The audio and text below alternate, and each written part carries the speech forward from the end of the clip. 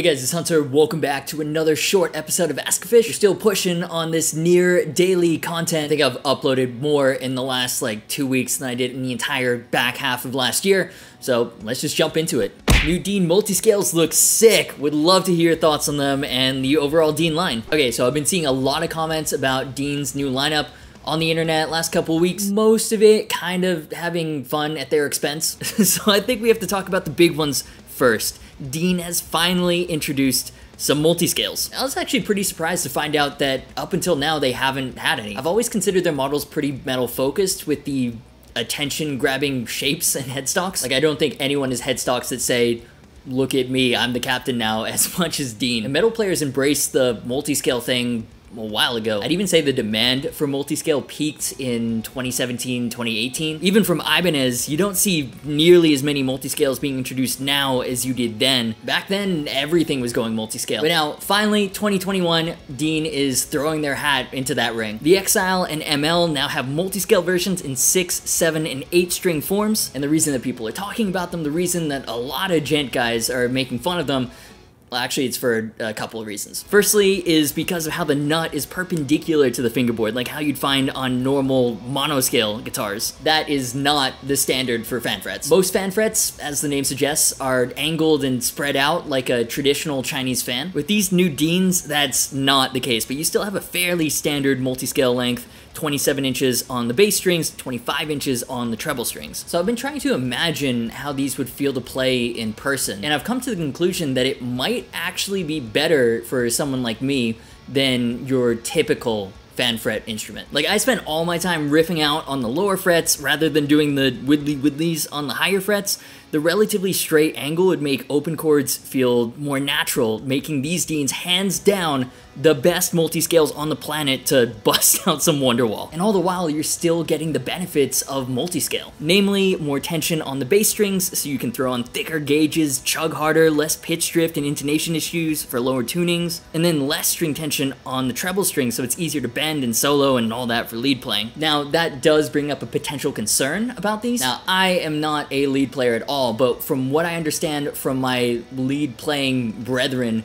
is that shredding has a lot to do with muscle memory. Your fingers just know where they need to go, where they need to be to rip that solo. With these, because the nut is perpendicular, even the first fret has a slight angle already. So by the time you get to the higher frets, the angle is fairly extreme, and I wonder if that wouldn't cause issues with that muscle memory. I mean, I'm sure you'd get used to it. I just wondered how big that adjustment would be. Lead players, I'd love to hear from you because as a rhythm player, I think this fan fret layout is kind of cool. The second thing my djenty friends are not so keen on is that there are no hardtail multiscales this year. Every one of them comes with a Kahler trem specifically designed and angled for multiscale. Now, okay, I generally kind of try to stay away from trems. Setting them up is not fun. I've never tried a Kahler though, and from what I understand, it is a completely different beast to a Floyd. For one thing, you don't need to route out a huge amount of the guitar for the giant springs. It's a self-contained unit. There is a little bit of routing required, but it's not nearly as substantial as a Floyd. It's also super smooth. Kahler haters call it loose because it doesn't require a lot of force at all to go up or down. That's probably why Kerry King loves it. You can get real stupid real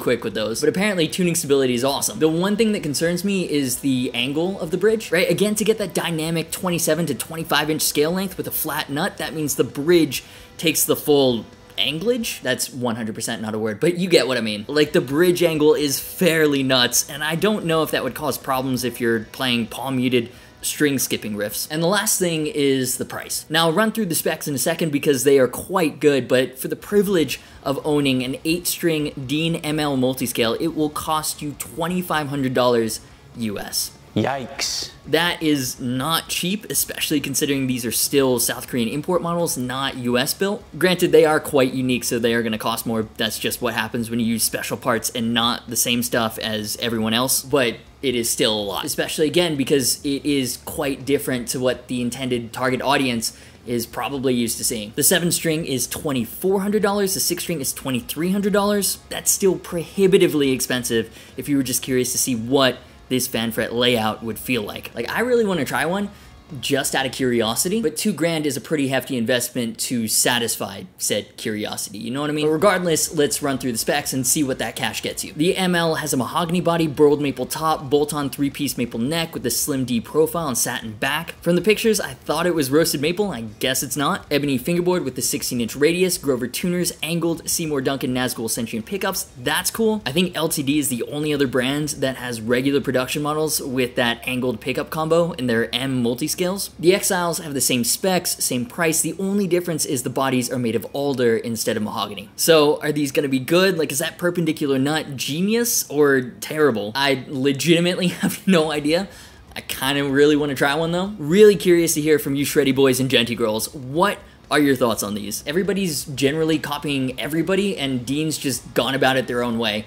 What do you think? Another highlight of Dean's lineup is the new Kerry King import model. Right, last year they had that super limited edition USA version. It was $8,666, so metal with a Sustainiac. This one is $13.99 with a hard case, mahogany body, maple top, three-piece maple neck, ebony fingerboard, EMG 8185 combo with a preamp boost, Kahler hybrid trem, kind of simplified cross nail inlays. Uh, I guess I'm kind of happy for Kerry King fans that there's now one that isn't $8,000. I still hate the Maleficent hairdo slash earwig tail headstock and body shape though so we move. There's a new import dime Razorback too. The Razorback is such a crazy shape. I kind of hate it, but with this graphic, I also kind of love it. And this version is cool because you're getting a lot of proper dime spec for your money. Mahogany body, mahogany neck with a V-shaped rosewood fingerboard, pearl, dime, razor inlays, Floyd 1000 series, Seymour Duncan 59 in the neck, Dimebucker in the bridge. You even get the traction knobs that recreate where Dime would actually have his tech burn little grooves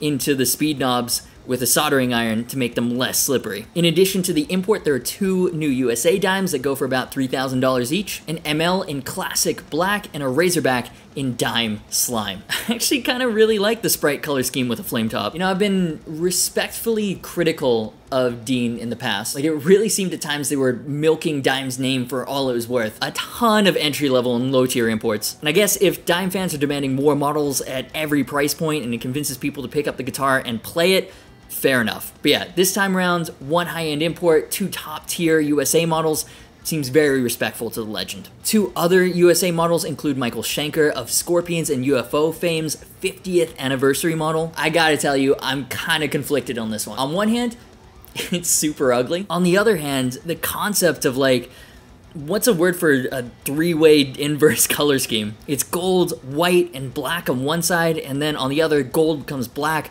black becomes white, and white becomes gold, even down to the Dean logo and the fingerboard binding. That is super cool. My absolute favorite, though, is the new Leslie West tribute Tattered and Torn Aged Trans Brasilia Thoroughbred. Mahogany body, flame maple top, ebony fingerboard with proper pearl blocks. Amazing color, super tasteful aging. I love it. I really, really love it. It reminds me a lot of what Eastman is doing, what Maybach is doing. I love super high quality, vintage inspired single cuts. USA DMT Nostalgia and Mountain of Tone pickups. It's got Leslie's signature and everything on the back of the headstock. So dope. I've never played a USA Dean, and unfortunately, at five and a half grand, I don't think that's gonna change anytime soon. But yeah, just wanted to point this out because I love it and it's a great send off for an icon of rock. Back to the import front, the new MD24 Floyds are pretty cool and probably some of my favorites from the new lineup. Kind of funny, I'm really not into the extreme shapes, so the ones I like are the least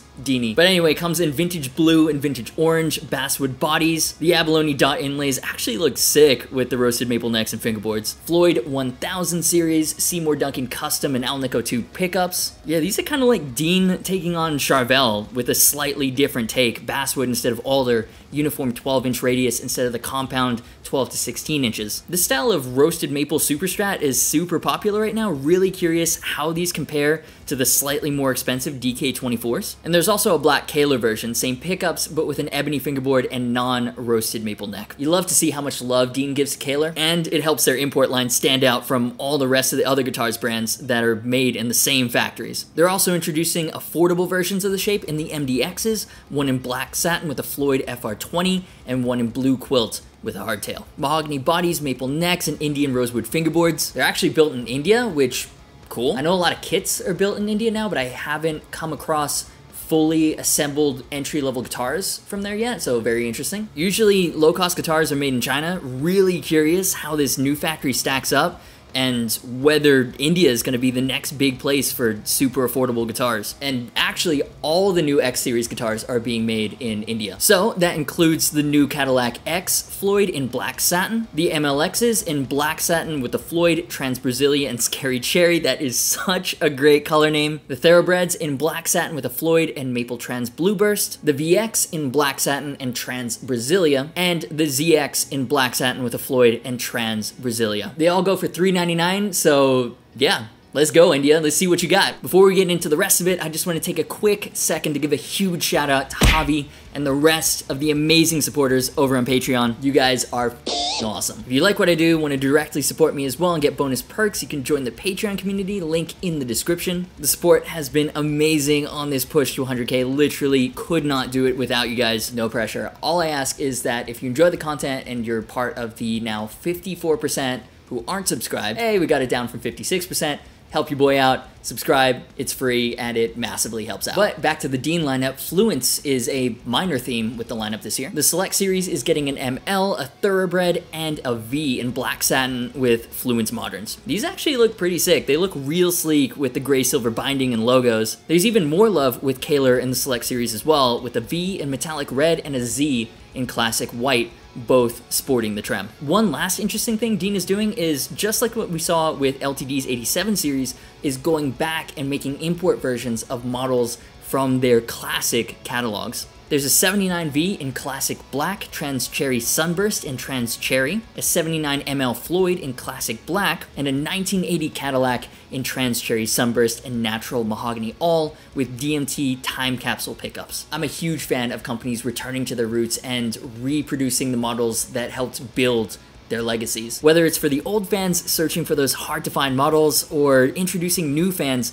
to models they never even knew existed or reintroducing models that have been forgotten over the years it's just really cool to see. So yeah, that is the Dean lineup for 2021 and just my initial reaction. There's actually a lot more there than I thought there was. Obviously, the biggest talking point is the multi-scales, but also heavy emphasis on Kahler trems. They're kind of dipping their toes in Fluence with the three models, but in general, Dean isn't just trying to copy LTD or Schecter they're going in their own direction with their own takes on modern guitars. So very curious to hear your thoughts on the multi-scales and on the lineup in general. And actually, I just got my first Dean a couple weeks ago. Dean were generous enough to send out a Cadillac for me to check out. I actually like it a lot better than I thought it would. It's still not any less ugly in person, like what on earth is happening with this massive headstock, but now that it's here, it's like an endearing ugly, and the guitar itself is actually real, real nice. So I will be making a full video, stay tuned on that, but when I'm done, Dean has already asked if I'd like to check out anything else from the 2021 lineup. The answer is yeah, if this Cadillac is anything to go by, absolutely. I mean, I really like that Leslie West one. I think it looks classy as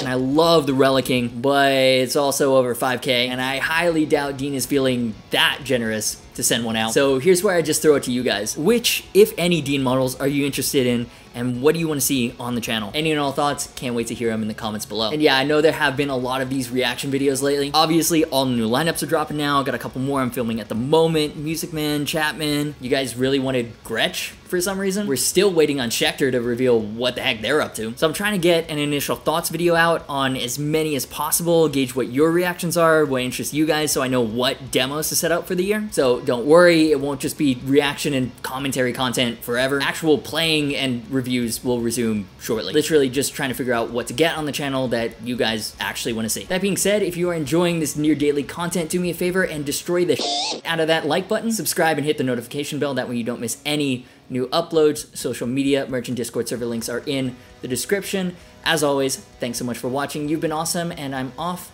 to go film another one. See you for the next video. Hashtag pray for Jordan.